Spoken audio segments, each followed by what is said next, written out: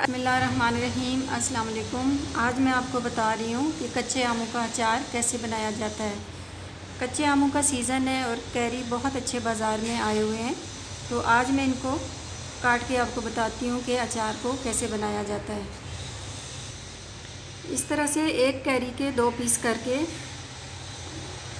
छुरी रख के उसको हम किसी वेट से दबा के अलग करेंगे तो ये कट जाएगा। इस तरीके से थोड़ा मुश्किल से ये कटेगा।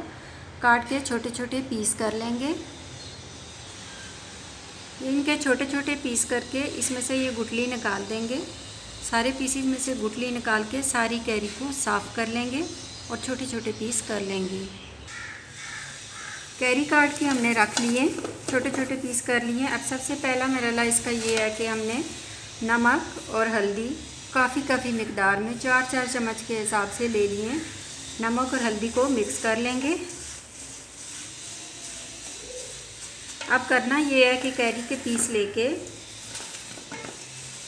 इनके साथ अच्छी तरह नमक और हल्दी को मिक्स करना है। हाथों पे ग्लव्स लगा लें ताकि आपके नेल्स वगैरह ख़राब ना हों। हल्दी से हाथ पीले हो जाते हैं। इस तरह लगा के सही कोटिंग करनी है हल्दी और नमक से। कैरी को हमने पहले अच्छी तरह धोकर इसको काटा है। इस तरह से सारे टुकड़ों को हमने नमक और हल्दी से कोटिंग करनी है।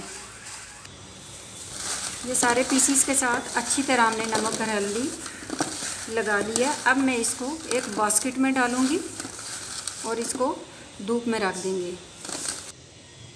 कैरी के अचार के लिए कैरी हमने धूप में रख के अच्छी तरह खुश्क कर दी है और इसका पानी बिल्कुल खुश्क हो गया है और ये अच्छी तरह तैयार हो गई है। अब हम इसमें मसाले डालेंगे, अचारी मसाले। चलो। कुटी हुई लाल मिर्च जाएगी नमक जाएगा। हल्दी जाएगी। अचारी राई जाएगी।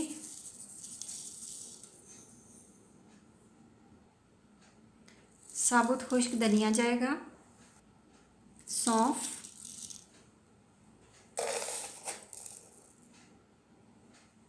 मेथी दाना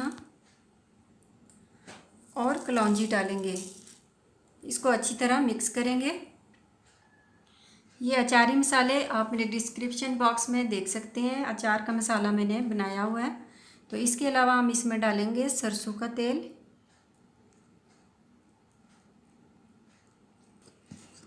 सरसों का तेल डाल के इसको अच्छी तरह मिक्स करेंगे। हमेशा लकड़ी का चम्मच यूज़ करें।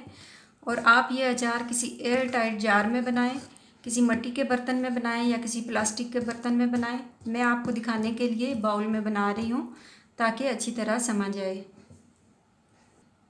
इसके अलावा हम कैरी के अचार में दो चम्मच वाइट विनेगर डालेंगे। इससे अचार बहुत जल्दी तैयार होगा और इसको ख़राब होने से भी बचाएगा। इसको दिन में दो से तीन बार चलाते रहना है। याद से चलाना है, अगर चलाएँगे नहीं तो इस, इसमें फिर ख़राबी आ जाएगी। एक चीज़ का ख्याल रखना है कि इसमें गीला चम्मच नहीं डालना, मॉइस्चर वाली कोई भी चीज़ इसमें नहीं डालनी और इसको ख़राब होने से बचाना है। अब इसको हमने दिन में दो से तीन बार चलाना है और दस से पंद्रह दिनों तक ये बिल्कुल तैयार हो जाएगा। अगर आपको मेरी ये रेसिपी पसंद आई है तो प्लीज़ मेरा चैनल सब्सक्राइब करें और मेरी वीडियो लाइक करें। पंद्रह दिनों के बाद ये अचार मुकम्मल तैयार हो जाएगा और खाने के काबिल हो जाएगा। ये मैंने पहले भी कैरी का अचार बना के रखा है, आप देख सकते हैं। इसको पंद्रह से सोलह दिन हो गए हैं और ये बिल्कुल अच्छा तैयार हो गया और बहुत ही अच्छा गल चुका है।